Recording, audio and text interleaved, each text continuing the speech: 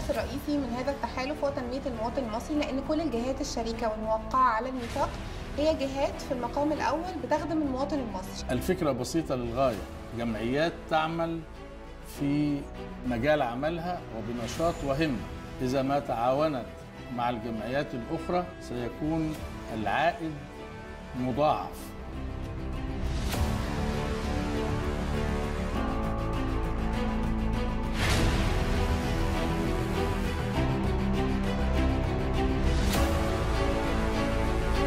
لما يبقى في تحالف ويبقى في آه، آه، اتباع لتنسيق ما بين المجتمعات المدنية هنقدر إن إحنا نساعد بعض وهنقدر إن إحنا نقدم الفرص ونعظم من مواردنا. وزي ما الدولة واقفة جنبنا لازم نقف في ظهرها وجنبها ونساعدها إن إحنا نحسن من بلدنا وأهل بلدنا إن شاء الله.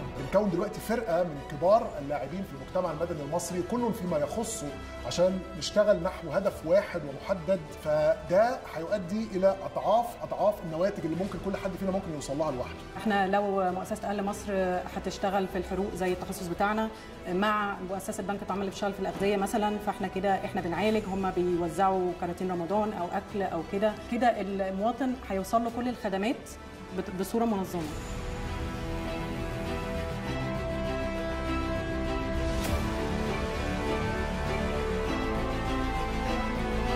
هو إحنا هدفنا إيه في الآخر؟